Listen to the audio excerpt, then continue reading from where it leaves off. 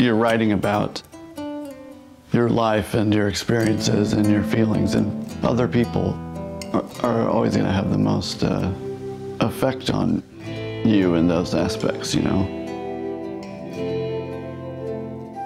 Nothing else really does it in the same way.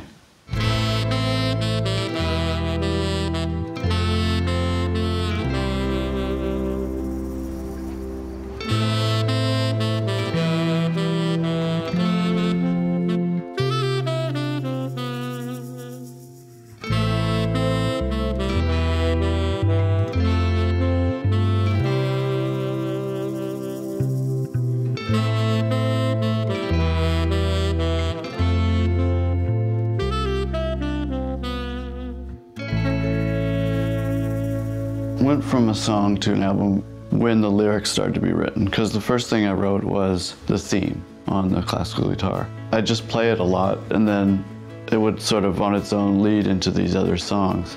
So here we go, with my face my hands where they should be.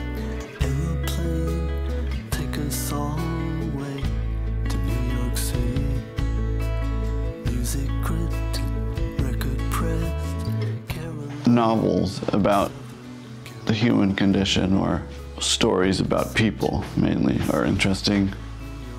It's just so wonderful to, to be in somebody else's head while they're just obsessing over this feeling for love, and, you know, and and recapturing a love that they once had. I think that's probably why people would like to listen to an album like Lysandre. It's like a coming of age album. And yes, there's a love story in there, but it should not be the focus, you know. Of course, she gets the title because it's romantic to do that. But that's not really the point of the album. The point of the album is a bunch of nobodies in San Francisco get handed the golden ticket and get to go to the chocolate factory and be rock stars in New York.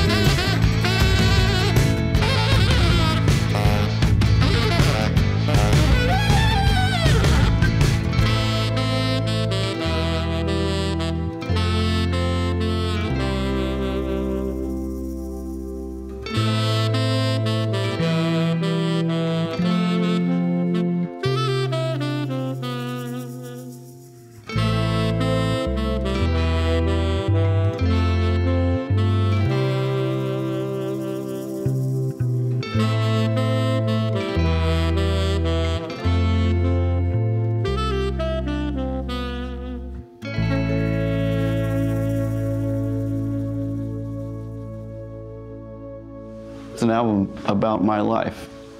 You know, what it was like to see your best friend from a few years ago who completely betrayed you and you know what you know what it's like to grow up.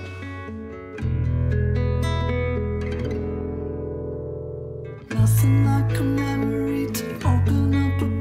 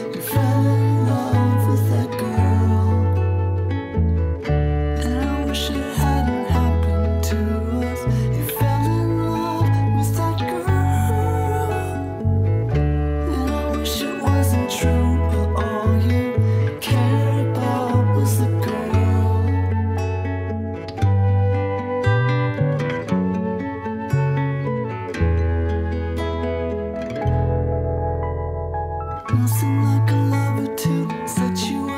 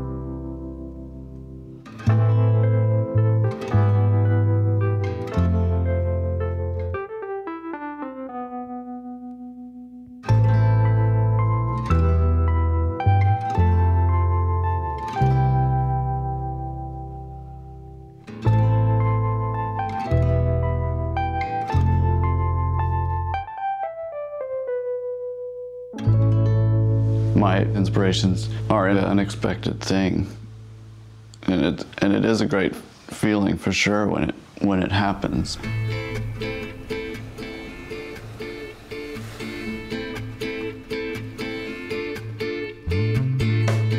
It's like releasing like a pressure valve. It's not the kind of thing you can really plan or anticipate. You just kind of have to be inclined to to like allow yourself to emote.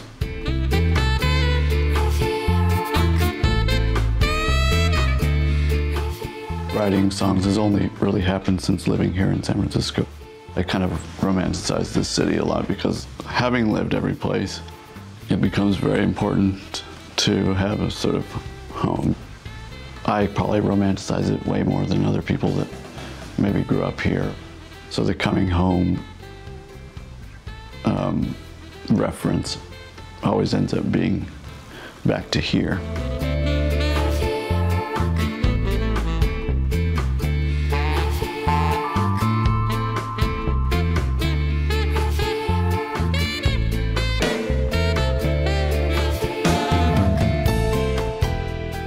Doing it on my own allowed me to handpick everybody that's in it and have total creative control. It would have gotten sidetracked, or you know, it just it wouldn't have been a pure vision like it is now. It would have been a girls' album, where you know, which means all kinds of other ideas come in.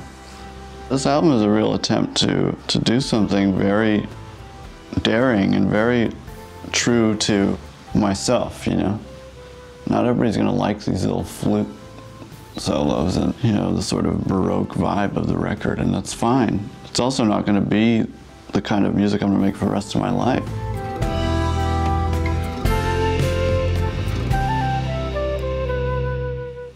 Know, hopefully people like it. I mean, you always want people to like what you you know what you like. You want to feel like you're not a lunatic for for thinking this is beautiful music.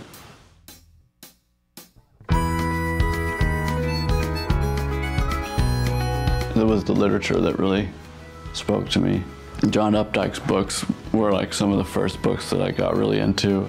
Well, like the Rabbit series was one of the first uh, series that I read, and I began. I started them in uh, when I lived in Amarillo, and I lived there for nine years. And it's the story of this guy that is supposed to be sort of calming down and behaving himself, but he wants to run away all the time, and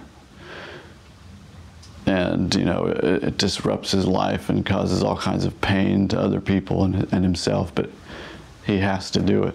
And it, you know, I, for me, reading it was like it was sort of like daydreaming about leaving Amarillo. It was my it was my opportunity to sort of sample those feelings myself.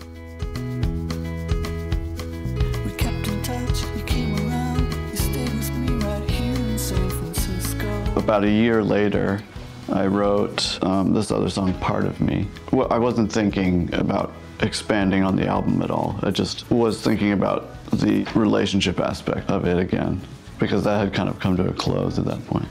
It just made a lot of sense to me to include it at the end of the album as an epilogue.